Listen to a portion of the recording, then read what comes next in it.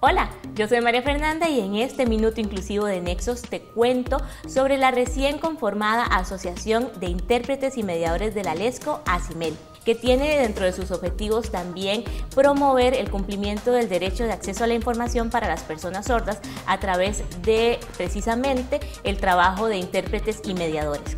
ASIMEL se fundó con una base de 16 personas asociadas que se dedican a la interpretación de español al ESCO y viceversa. Esta iniciativa pretende incentivar la profesionalización de quienes trabajan en la investigación, interpretación y mediación de la lengua de señas costarricense y proteger sus derechos laborales.